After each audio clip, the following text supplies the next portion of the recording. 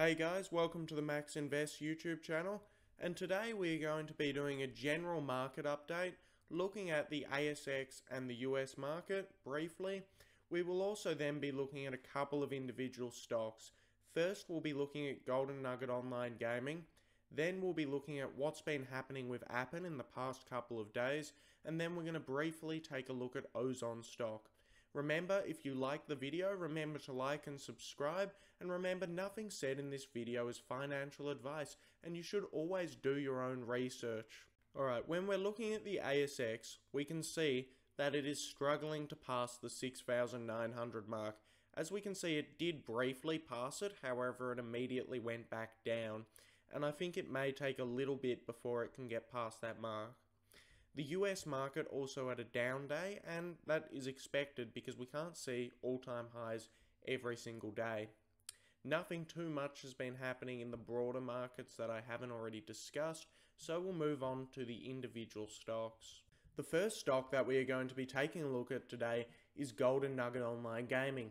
Golden Nugget Online Gaming is a gambling stock that specializes in iGaming, which is basically playing specific gambling games. As we can see, Golden Nugget Online Gaming has gone down about 35% since its all-time highs and is now sitting in the low $17 range. I do think this is as low as it's going to go, but it of course could go lower and I honestly don't know what will happen in the short term with this stock. However, I do see a couple of good catalysts coming up for the stock. On January the 22nd, Golden Nugget Online Gaming started its online operations in Michigan. Thomas Winter has already stated that Michigan are taking up online gaming at a rapid rate and gambling at a rapid rate, and their expectations for revenue in Michigan are actually likely to be exceeded.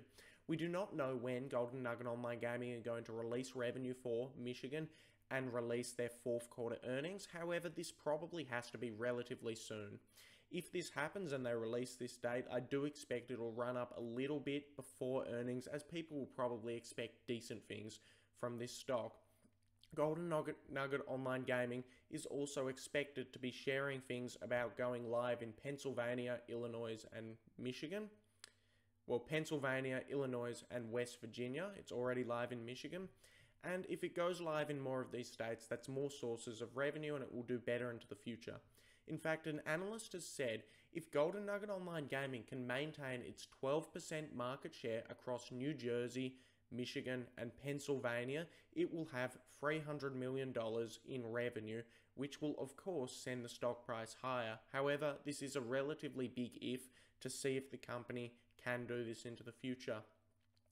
It is also releasing 80 new games in 2021 and it has some big prospects ahead of it for this stock.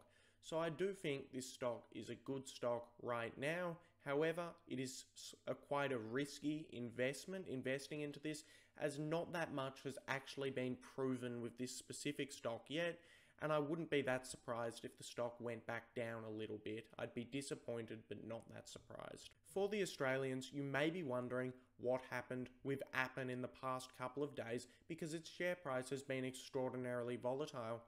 Appen is an artificial intelligence and machine learning company that has most of its operations and deals in America.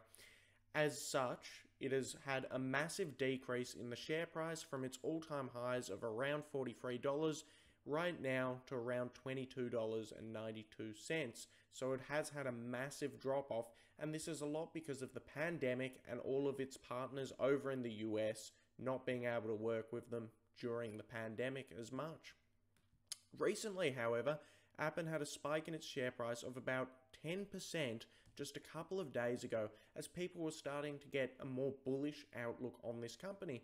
However, it was quick to drop back down 10% and is already dropping by the minute today. The reason for this is because Macquarie analysts just issued a downgrade of Appen's expectations in 20, 2021. They downgraded Appen from an outperform to an underperform, and they said they expect the share price to be sitting at around $19 throughout 2021. Appen have already said they will not do well in the pandemic, and they have increased competition going into 2021, which Macquarie analysts are worried about. However, I do believe that the Macquarie analysts are looking at Appen from a more short term perspective of what will happen with the price during the crisis. I don't think they're looking at it long term enough, and I do think companies like Appen will be very successful long term. You've got AI prices reducing by around 30% year over year. AI is also growing at a rate of 28% year over year, and Appen only has a very small market cap of 3 billion, even though it is one of the biggest artificial intelligence intelligence companies in the world, and it believes that its total addressable market size is $97 billion by 2023. So I do believe Appen are positioned to do well in the long term. However, perhaps the Macquarie analysts are somewhat right about Appen in the short term and it may not do as well as we expected to do this year. However, I will just see that as more accumulation and buying opportunities for the stock unless something fundamentally changes in the stock, which it always may. Another stock that I've been looking at and that I did a deep dive on is Ozon. Ozon is an e-commerce company in Russia, just like Amazon, just like Jumia, like all those other companies, but based in Russia, and it has seen about an 8.97% share price drop since its highs of around $66.64. I do think Ozon is only dropping just a little bit in the short term as some people are profit taking, but I do this, see this stock going quite well in the future. The reasons I see this are because Ozon has been having over 100% growth in gross merchandise value, which is the value of its sales, and its share price is still not that high and it's only sitting at a $12.6 billion market cap.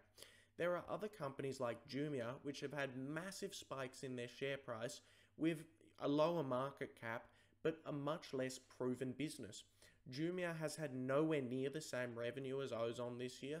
Jumia is way, way off from being profitable. Jumia has negative 111% margin compared to Ozon having negative 17%.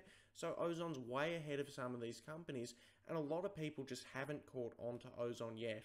I have no idea when people will catch on to Ozon or if they will, but if Ozon can keep delivering the big things and the big revenues that they are constantly delivering, I do believe this stock has quite a bit of room and will do pretty well in the future.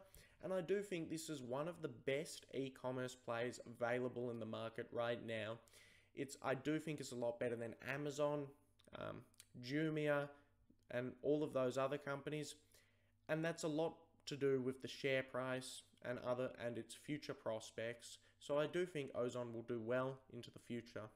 Anyway, if you enjoyed the video, remember to like and subscribe this was just a simple, more low effort update on some of the stocks that I've been looking at this week, what's happening with them, what's going to happen with them.